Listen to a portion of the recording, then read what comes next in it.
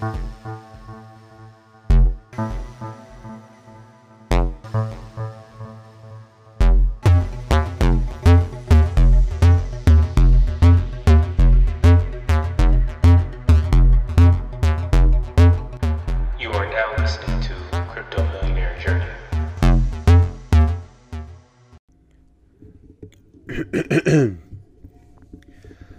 Yo, yo, yo, what's going on, everybody? Welcome back to a another episode of the Crypto Millionaire Journey. Happy New Year to all out there. Thanks again for tuning into the cast. Um, well, it is looking like Bitcoin is making that run again. Uh, as far as the market goes, it's been pretty pretty predictable, I would say, in the last, I don't know, maybe month or so. Uh, we've had these little runs where we get up to like, I would say, anywhere from about what 7,600. Uh, we'll get all the way up there, then you'll see these dips, and you've seen Bitcoin go as low as like what 69, 68, uh, somewhere around that range and um, it's been kind of tough uh, as far as trading goes, uh, since there hasn't been a lot of movement within the market. Um, but there again, there's still always opportunities to you know make money even when sideways, and and we've been like I said, we've been in this uh, bear market for some from some, for some time now, and some think that we could go on a run. Some are thinking that you know we can hit another bottom. Uh, as far as my personal opinion goes, um, it's kind of hard to say because I have a feeling like you know Bitcoin could go on a on a run where you know we might reach like you know what nine ten k and then maybe fall off again. Um, as far as the bottom goes, I feel like the bottom uh, was around the 3000 range, but some are thinking that once this halving is done, some are thinking that we can go back to maybe like the thousand dollar range. And I feel like that's just some people being selfish and praying that it can go back down to that price range so they can get a lot. Um, but then again, like I said, if it does go down, um, I'm comfortable now to the point where it's like, all right, well, I'll just take the crypto output and stablecoin, and you know as it continues to decline and reach you know different bottoms, you know that's when I'll you know re-enter, you know hodl it for a little bit, see see what happens, and then uh, go ahead and you know sell off and do it all over again. Uh, for example, uh, I bought some what Bitcoin on uh what was it Thursday, if I'm not mistaken, and I'm using the Voyager app to trade with, and uh, the Voyager app is a pretty cool app. It's uh, actually commission free, so you can trade commission free. It's pretty sweet. It's pretty sweet. if you're a trader, it's like I said, it's pretty nice, especially with that commission free. Um, but you know, I'm looking at today, and you know, Bitcoin's up what all the way about 75 7500 7520 around that range. I'm already at a you know plus 7% so i've already made 30 bucks literally within what maybe i don't know three days? Three four days? Some yeah if i'm not mistaken it's about three four days. Because today is the 5th so yeah three days three days folks. Three days time yeah, it dropped to 69. I was like, oh yeah, I've, I've I've seen this play before. You know, when you watch the market as much as I do, you know, you can start predicting certain things, and you know where, all right, you can put in right here, and you know that hey yo, you'll get a nice little return. We're talking about quick return, man. Seven percent, bro, within three days. I hope some people are like actually really putting that into perspective of the fact that you could make 7% in three days just from like li- literally buying it and hodling it.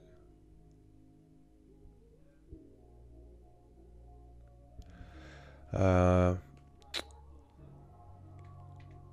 there's also Litecoin. I mean, look at Litecoin. Litecoin right now is forty-two dollars, forty-four dollars. It's like, bro, it's going back up again. This thing was down at 38, 39. It was just at like 60, 80 bucks not too long ago. Right now, the market cap's at what, 201 billion. Uh, it's about 70 billion going through in the 24 hour volume. Ethereum's at what, 139, 140. Uh, EOS. EOS is down. EOS is a good one as well. EOS was just like at four bucks. Um, Tron's got some movement a little bit. Tron's been, I feel like Tron's been stagnant. Neo's kind of going back up. Um, IOTA is up. I mean, IOTA is up three percent today. Ontology going back up. Ontology is another one. Right now it's at fifty-seven cents. Man, I think it was at dollar. What? Not too long ago. Um, Qtum's pretty cheap. Qtum's at what dollar sixty seven, and I've seen that at easily three dollars, four dollars range. Uh, OmiseGO. I mean, KuCoin shares are a dollar nine. I mean, yo, I might have to buy some KuCoin shares. Nano's at sixty seven percent, man. I mean, sorry, sixty seven cents. It threw me off so much I couldn't even pronounce it correctly. Uh, Digibyte, Digibyte, man. Cheap. And a part of me wants to get some Digibyte just for the fact that it's so cheap right now. But I know it can easily go back to like being like a penny, three cents. Um, so that's one that's gonna probably be one I watch hard. Same thing with like Electroneum. I know Electroneum is not even like at a penny right now, and it's it's like whoo. It's kind of like mm. Might have to go ahead and just do that because Electroneum, man, that thing got up to twenty what twenty four cents, if I'm not mistaken. So the, there's a lot of opportunities, man. Like Sia Coin, Icon, Icon's at eleven cents. Um, Steem is at sheesh. Steem's at twelve cents. Yikes. I mean, yeah, look, look, see, now Electroneum's going down even more. I think. Yeah. I'm trying to see if I can find the 52 week high here because it's just it's really interesting.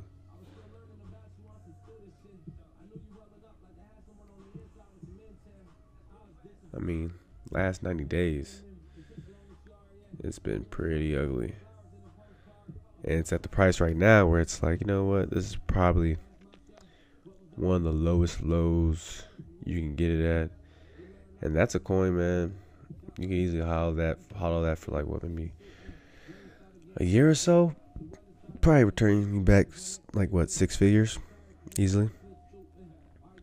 Um, but that's something that again you gotta pay attention, gotta take notes, you know, because the market, man, market's constantly, constantly changing. That's what happens when you have all these people that are involved in the crypto space, and it's not even a lot of people. That's the that's the funny part about it. It's not a lot of people that are involved in space right now. But as far as where I think the market is potentially heading, mm, I would have to say that it's headed in the direction where we'll see a lot more bad days and I mean a lot more good days and bad days I should say. I think trading will be opening up a little bit more where you can get those swing daily trades because um, it's been a struggle for me as far as doing the whole trading with especially with my using my robot because you know with all these we have these ups and we have these downs it was really like no consistent movement within the market where it was like all right I have confidence that I can get some easy daily trades, make some quick profits here and there. But man, it's like, whew.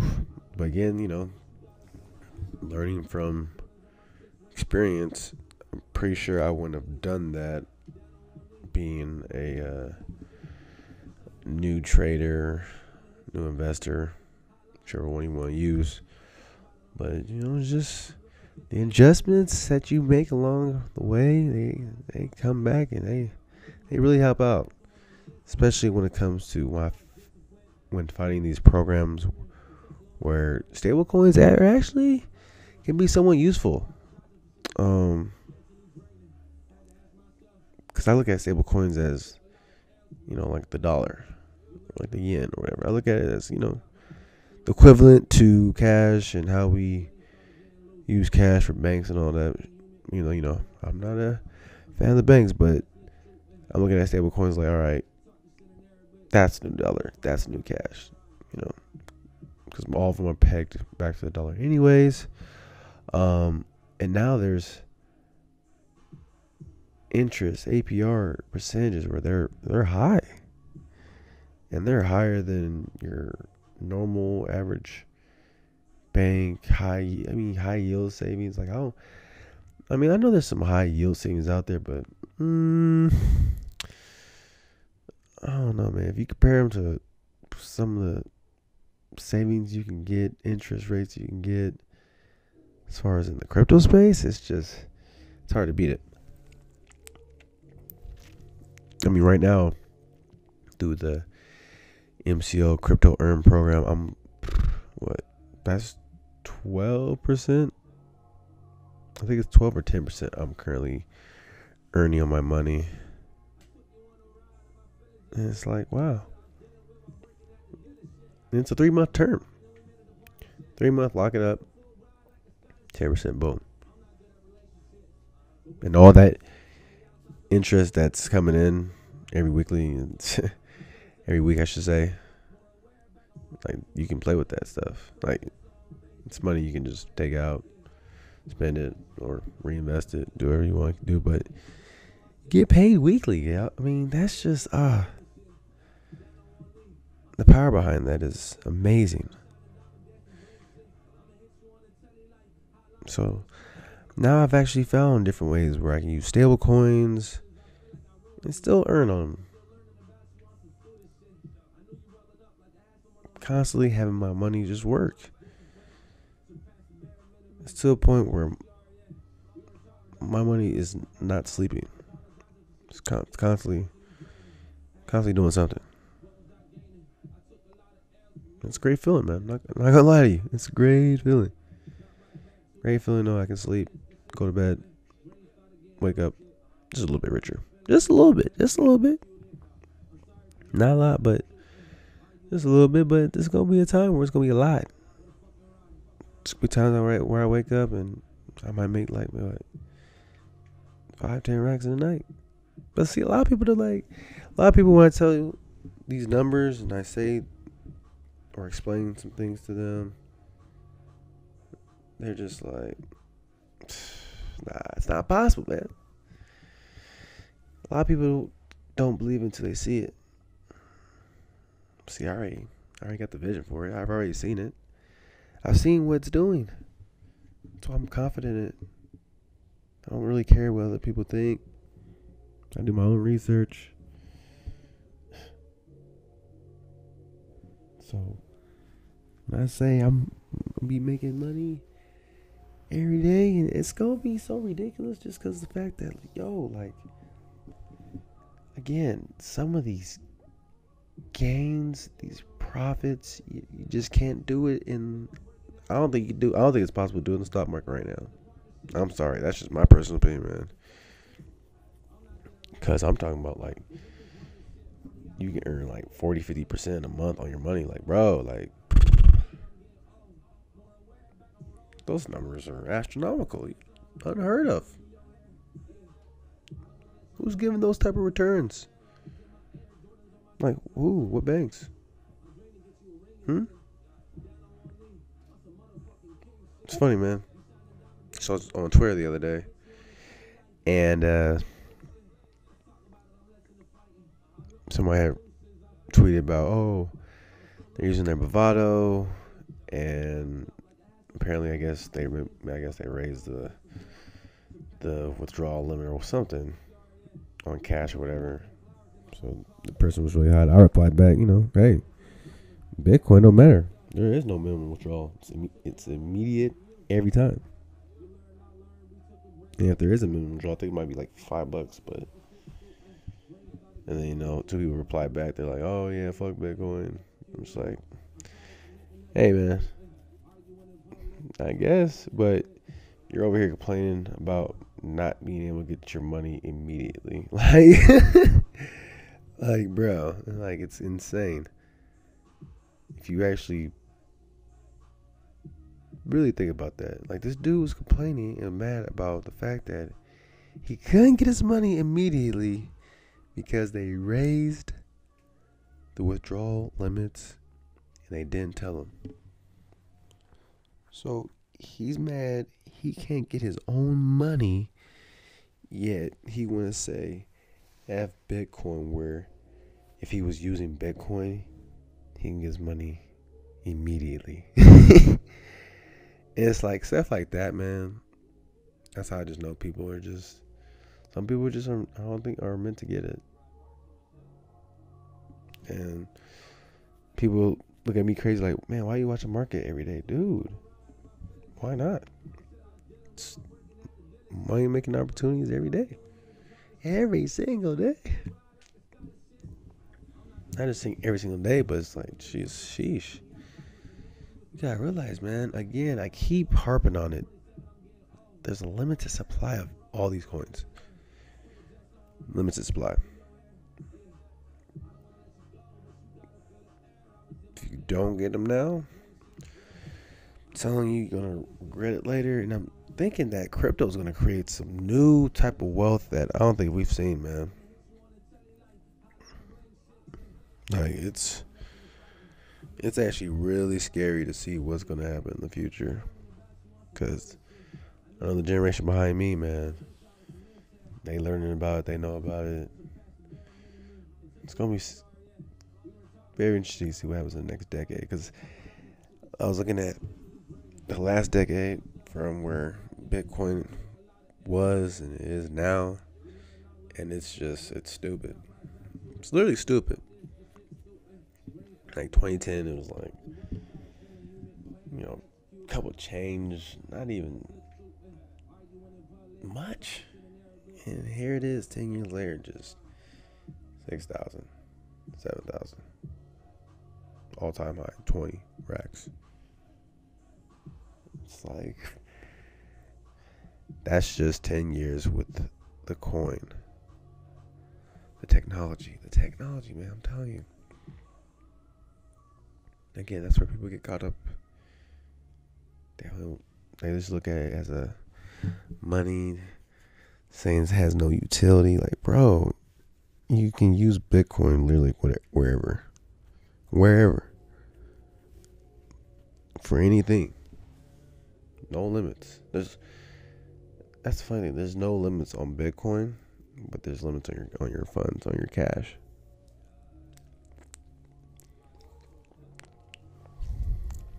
I find that I find that very weird. I, I don't like it. People put their trust into banks. Crypto allows you to be on your own bank, man. Like I'm really my own bank. It's a great feeling. Great feeling. So as far as what to really look forward to, as far as some of the episodes that are to come, I found some platforms, y'all, that again, it's crypto. It's gonna be scary, man. It's gonna be scary when it gets massively adopted. Because again, some of these platforms, it's so easy just to make money. like, and that's the thing. You don't gotta invest anything, just your time, time, your effort, what you normally do on a day-to-day basis when it comes to other platforms. But you're not seeing any type of return. You got all the ROI potential in the world when it comes to different crypto platforms.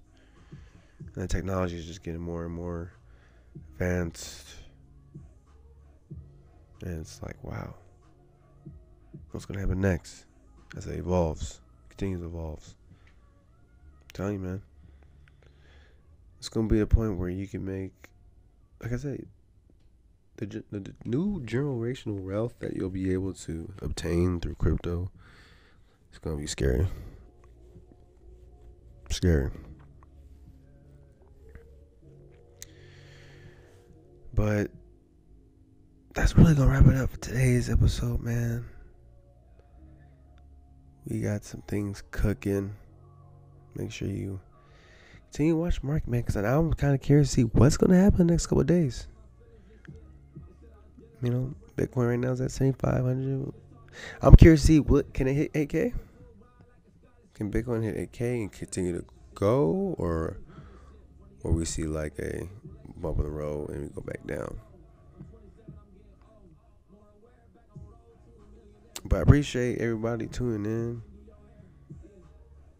You know, this journey is it's a fun one, man. I enjoy it. Despite the fact that, you know, a lot of people hate on it. But I embrace it. I love it. I know what's gonna do for me. I, I've seen what it's done for me. And I tell people, do your due diligence, man. Do your own research. Because there's there's some pretty interesting stuff, man. Not just that, it helps it educates you on certain things. That's nothing. When, when you learn about crypto, you learn how to really manage your money. You learn things that they didn't teach you. But until the next time, y'all, to the next episode of the Crypto Millionaire Journey, that's going to wrap it up for your boy. As you know me as the Wolf of Crypto, Duke, you know, whatever you like to call me. Until next time, y'all, take care.